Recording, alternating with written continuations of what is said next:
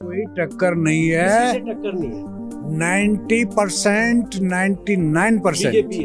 BJP और राव इंद्रजीत ही जीतेंगे और डंके की चोट से जीतेंगे। देखिए जी राज बब्बर साहब का यहाँ पे ग्राउंड लेवल पे कोई कनेक्ट नहीं है। जिसे कहते हैं ना पैराशूट कैंडिडेट लॉन्च कर दिया है खाना पूर्ति वाला काम है। मैं मोदी का। हुड्डा ने क्या किया? नौकरी जज्जर रोस्टक में और पूरा शहर फुकवा दिया। हम उस देंगे। कांग्रेस को कभी नहीं दूँगा मैं। गुड़गांव में चुनावी माहौल क्या है? गुड़गांव का चुनावी माहौल इस समय मेरे को तो बीजेपी के अगेंस्ट ही लग रहा है। फिफ्टी फिफ्टी है मुकाबला अब भी कम नहीं है कांग्रेस। कांटे की टक्कर। कांटे की टक्कर है। राज बब्बर बम्बई बैठ जा हम किस जाना है कहने कदे कदा बच्चे जा जाला काम करो सी ना करो। मोदी जी जिंदाबाद। ऐसा क्यों कि भाजपा है कांग्रेस नहीं है? मोदी जी ने देश के लिए जी अच्छा काम किया है। हमारा तो बीजेपी का ही है बीजेपी का। बीजेपी में किसको इंद्रजीत को वोट दे रहे हो मोदी को दे रहे हो या भाजपा के काम को दे ना उरे तो दे रहा है इंद्रजीत को अगर लोग समझदार होंगे तो अपने लोकल इश्यूज़ को ही पहले उठाएँगे मोदी तो बाद में आएगा। मैं देखता हूँ सरकार को तो कोई खबर नहीं है पब्लिक की। वो अपने मस्त है कि मोदी मैजिक पे वोट मिलेगा उन्हें मांगने की ज़रूरत नहीं है चाहे विकास करो या ना करो। 2019 में हमारे जो कैंडिडेट्स थे, उनमें थोड़ी हम्बलनेस थी। वो इतना तक समझते थे कि वोट तो मांगना चाहिए कम से कम, जो कि हम बड़े बचपन से देखते आ रहे हैं। मतलब जब हम वोटर्स भी नहीं थे, तब भी हम ये देखते आ रहे हैं कि वोटिंग जो है, वो एक बार तो आता है कोई मांगने के लिए। बट यहाँ पे तो एरोगेंस इतना भर चुका है कि वोट मांगने के लिए कोई नहीं आ रहा है।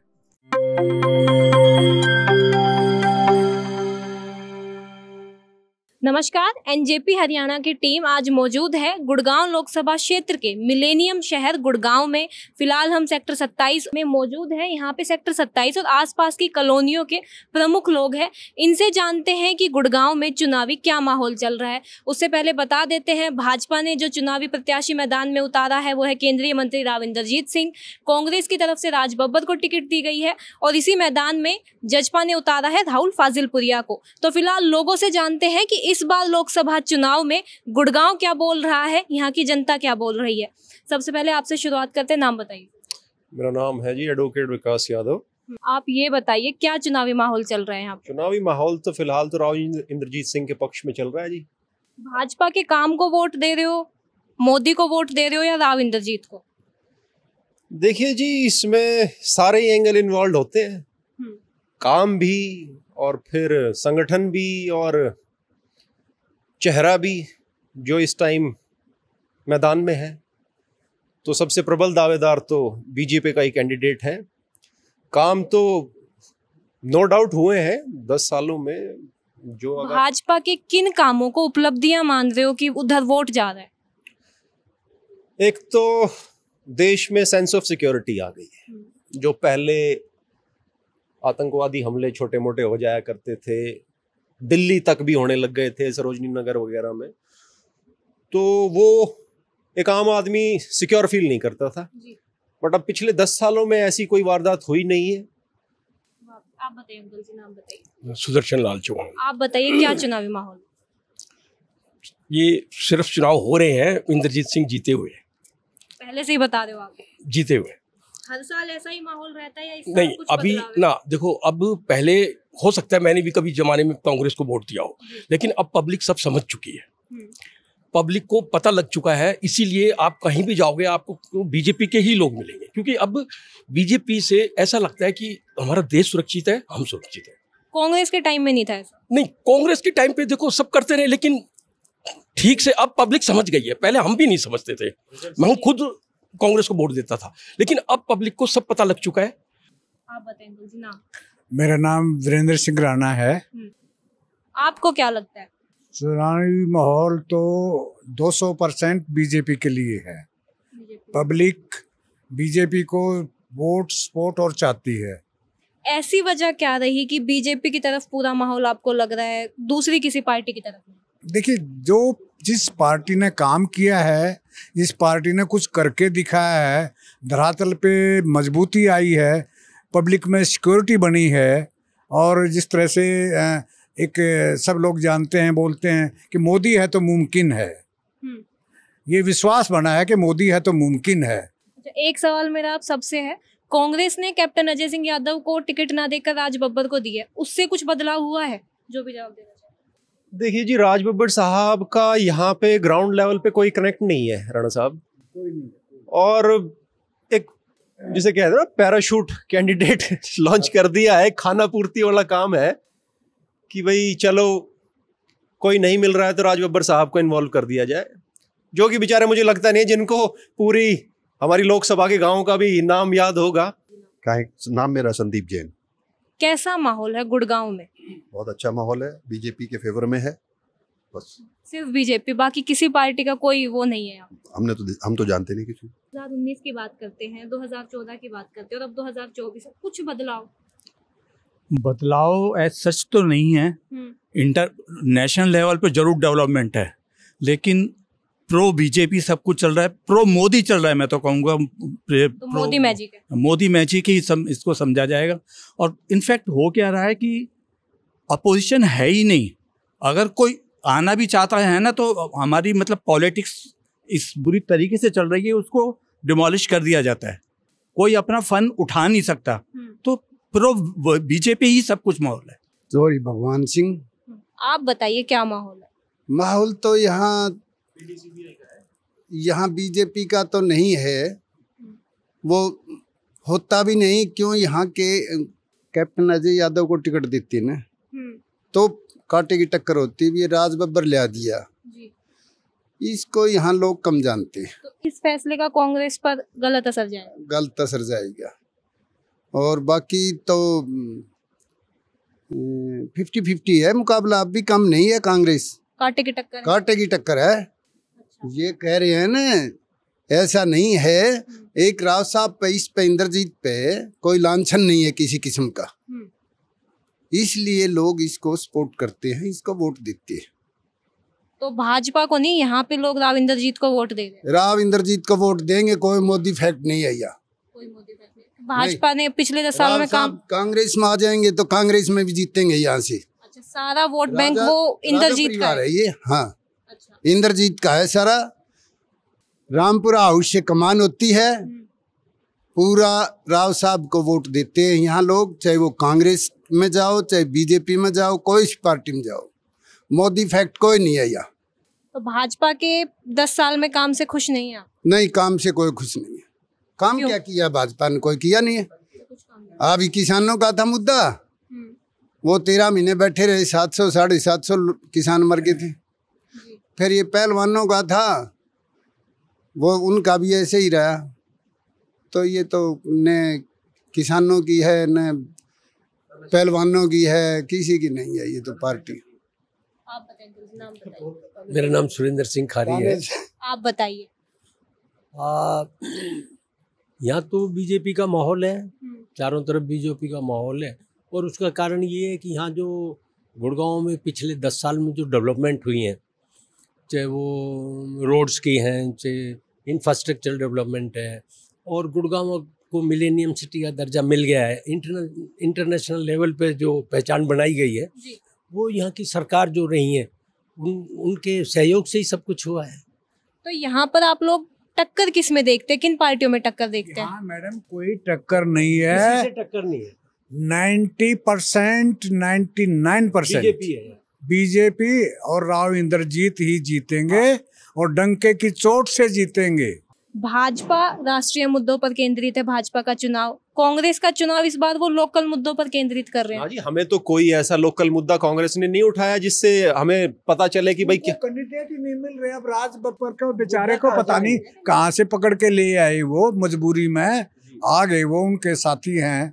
लेकिन कोई उनको कैंडिडेट ही नहीं मिल रहे केवल गुड़गांव की बात नहीं कर रहे हम। हम तो बात है सारे उसकी पूरे पूरे इंडिया की बात कर रहे हैं। कैंडिडेट ही नहीं मिल रहे भी उसको कांग्रेस को तो। सब जगह आप देखिए कितने लास्ट लास्ट में कभी कोई दो दो जगह लड़ रहा है अभी उसको राहुल गांधी को ही ले लीजिए। वायनाड को उसको भरोसा नहीं जीतेगा। वहाँ से पर्चा भर दिया यार वहाँ से नहीं जीतेगा तो चलो कम से कम वहाँ से जीत जाए। चलिए हम तो यहाँ की बात करते हैं गुड़गांव हरियाणा की बात करते हैं। अब मेरा एक आखिरी सवाल है जजपा के जो कैंडिडेट हैं राहुल फाजिलपुरिया लगता है उनका कुछ असर पड़ेगा? देखो जी वो लोकल आदमी है यहाँ के फाजिलपुर गाँव से हैं वो। बाकी जजपा का यहाँ बेस तो कोई है नहीं। लेकिन जैसा आपने बताया कैंडिडेट राहुल फाजिलपुरिया है तो वो अपने प्रयास जारी रखेंगे अपने लोकल होने का उन्हें फ़ायदा मिलेगा। नाम बताइए अंकल रतन सिंह। आप क्या चुनावी माहौल देखते हैं गुड़गांव में? देखिए गुड़गांव में तो है बीजेपी का बट बाकी हरियाणा में है कांग्रेस का। गुड़गांव में भाजपा का क्यों? क्योंकि यहाँ का जो शख्स है ना तो राव राविंदर जी वो यहाँ का थोड़ा फेवरेट बनता है और काफ़ी दिनों से अच्छा काम कर रहा है। इसलिए इसका माहौल बढ़िया हो होगा और यहाँ का लोकल है। आप बताइए नाम संजय। आप बताइए क्या चुनावी माहौल चल रहे हैं यहाँ देखिए चुनावी माहौल अगर 2014-19 की बात कर रहे हैं तो अब इस बार अलग है। अ, 2014 तो एक बदलाव चाहती थी जनता तो बदलाव के लिए आशा में आए थे। कि भ्रष्टाचार विकास सबका साथ और 2019 में फिर अलग हो गया कुछ देश भावना वगैरह। अब दो अब उसके बाद से माहौल जो है पूरा चेंज हो गया तो कांग्रेस की तरफ़ लोग ज़्यादा मूव होंगे। तो आज हम मौजूद हैं अभी गुड़गांव के आरडी सिटी में और हमारे साथ आरडी सिटी के प्रेसिडेंट हैं प्रवीण यादव जी। इनसे जानते हैं। सर सबसे पहले बताइए गुड़गांव में कैसा चुनावी माहौल चल रहा है? अब तो सभी पार्टी ने लगभग अपने कैंडिडेट उतार दिए। देखो चुनाव के आ, पहलू से मैं बात देखूँ तो मुझे लगता है कि चुनाव में वो गर्मी नहीं है। इतनी सरगर्मी से चुनाव प्रचार या कहीं कुछ ऐसा देखने को नहीं मिल रहा है। बाकी अभी सभी पार्टियों ने अपने कैंडिडेट उतारे हैं। तो देखते हैं आने वाले समय में चुनाव प्रचार ज़ोर पकड़ेगा और शायद और ज़्यादा चुनाव का माहौल और गर्म होगा। फिर भी अभी तो 25 तारीख को ही है, काफ़ी नज़दीक है। तो कुछ माहौल तो बन गया होगा, पता चल रहा होगा कि किस पार्टी की तरफ़ रुझान ज़्यादा है। नहीं, ऐसा तो हमने ना तो कोई ऐसा सर्वे किया कि किस पार्टी की तरफ़ रुझान ज़्यादा है या किसकी तरफ़ नहीं है। हाँ अभी जो चर्चा होती है, वो समस्याओं के बारे में होती है। समस्याएँ हैं, काफ़ी हैं। गुरुग्राम में अगर मैं बात करूँ साफ़ सफ़ाई की तो साफ़ सफ़ाई की व्यवस्था बहुत ही चरमराई हुई है। जगह जगह कूड़ों का ढेर लगा हुआ है। तो जो ये नगर निगम के मुद्दे हैं, जो ये समस्याएँ हैं लोगों की, इससे मौजूदा सरकार है, उसके ऊपर कुछ असर पड़ेगा?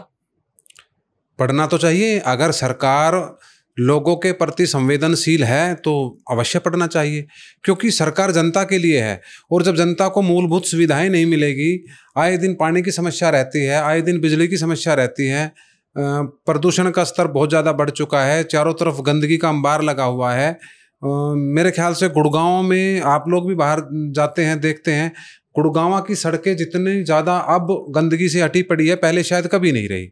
आरडीसीटी के ही अन्य लोग हैं इनसे बात करते हैं। सबसे पहले नाम बताइए। चैताली मंडोत्रा। चैताली जी आप बताइए क्या चुनावी माहौल है गुड़गांव में?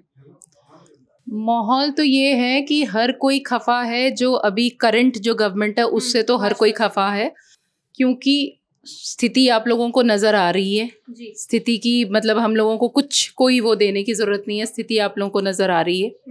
है ना?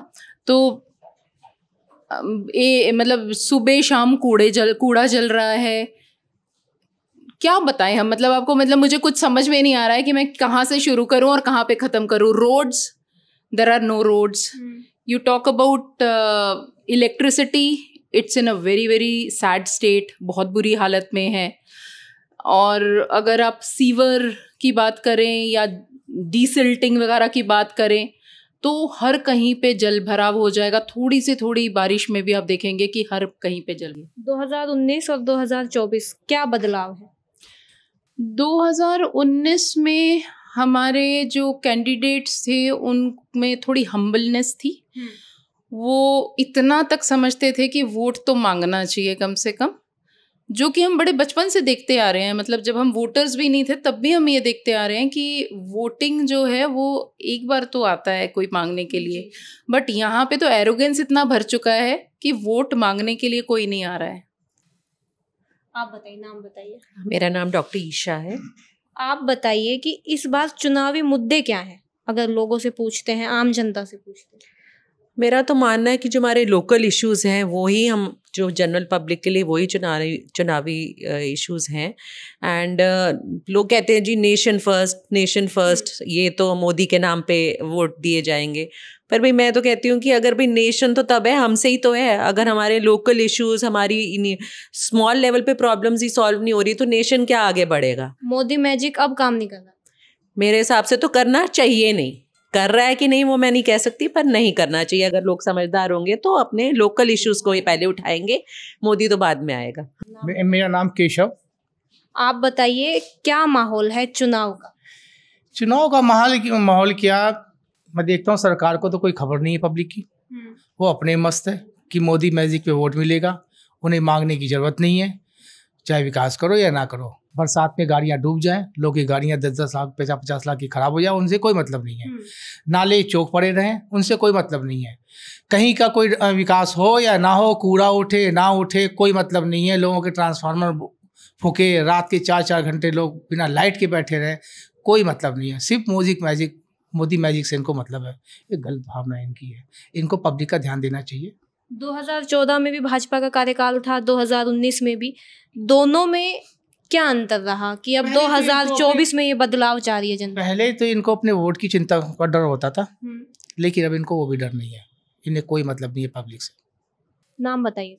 मैं पानिनी गुप्ता। गुड़गांव में चुनावी माहौल क्या है? गुड़गांव का चुनावी माहौल इस समय मेरे को तो बीजेपी के अगेंस्ट ही लग रहा है। जनरली जब मैं देखता हूँ किसी किसी से बात करता हूँ क्योंकि चुनाव आप कहीं भी जाके देख लीजिए कूड़ा किसी भी मेन रोड पे चले जाओ कूड़ा है। किसी भी ग्रीन बेल्ट पे चले जाओ वहाँ पर हॉकर्स बैठे हुए हैं। पेवमेंट है नहीं चलाने को रा, रास्ते नहीं हैं। किसी भी कॉलोनी के अंदर चले जाओ रोड टूटी हुई हैं स्ट्रीट लाइट आपको मिलेंगी नहीं। वाटर सप्लाई की हर जगह प्रॉब्लम है ऐसी कोई भी कॉलोनी नहीं है जिसे पानी की सप्लाई की प्रॉब्लम ना हो स्ट्रीट लाइट ना हो। एक कॉमन एक बुनियादी जो रिक्वायरमेंट है जो यहाँ के रेजिडेंट्स के लिए वो भी पूरा नहीं कर पा रही है हमारी स्टेट गवर्नमेंट तो हम और किसी का क्या कहें? नमस्कार एनजेपी हरियाणा की टीम आज पहुँची है गुड़गांव लोकसभा क्षेत्र के पटोदी विधानसभा के गाँव हालियाकी में। अंकल जी सबसे पहले अपना नाम बताइए। श्री राम श्री राम गाँव आपका? हालिया की तो माहौल किसका है गाँव में? आमतौर पर बात होती होगी। माहौल तो बीजेपी का ही चल रहा है। राव इंद्रजीत का। मोदी को वोट दे रहे हो या इंद्रजीत को? सब ऐसा है जो इंद्रजीत को जाएगी वो भी मोदी को जाएगा। और मोदी को जाए नीचे मोदी के नीचे इंद्रजीत को मोदी तो ऊपर तो है नहीं। नाम बताइए। हाँ नाम बताइए। मोदी को देंगे हम तो। आपका नाम? रोबिन सिंह। अच्छा मोदी को वोट दे मोदी को क्यों? बस देने देने क्यों क्या है कुछ नहीं। आप बताइए। मोदी जी जिंदाबाद। हाँ ऐसा क्यों कि भाजपा है कांग्रेस नहीं है? मोदी जी ने देश के लिए जी अच्छा काम किया है। बहुत बढ़िया काम किया है। कोई ऐसा बुरा काम नहीं किया जो जो पब्लिक नाराज़ हो या पब्लिक को नुकसान हो। उसने देश को ऊपर ले जाने के लिए काम किया और हम मोदी के साथ है जिंदाबाद। अगर 2019 के चुनाव की बात करें और अब 2024 के हैं माहौल में कुछ बदलाव है? नहीं जी कोई बदलाव नहीं। कोई मोदी मैजिक अभी भी चल रहा हाँ है? जी। आप बताइए अंकल जी। नाम बताइए सत्यनारायण नाम है आप इसी गाँव से इसी का आप बताइए। मोदी की है मोदी की है। मतलब पूरे गाँव में ऐसा ही है की मोदी की है? तो आप बताइए आपके गाँव में क्या चुनाव बस ठीक है दोनों बराबर से ही चल रही है। फिर भी कोई एक तो ऐसा होगा ना कि अभी आज आए आज आए इंद्रजीत साहब आए थे आज। हम्म, तो कुछ विचार लोगों का देखो कैसे होता है। ठीक है। फिर भी अगर किसी एक का पलड़ा देखा जाए कौन भारी है अभी? अभी से कोई पर्दा नहीं अभी तो चुनाव पास में है। ना अभी से पंद्रह दिन है। आप बताइए नाम बताइए सबसे हर प्रकाश। गाँव? नूरगढ़।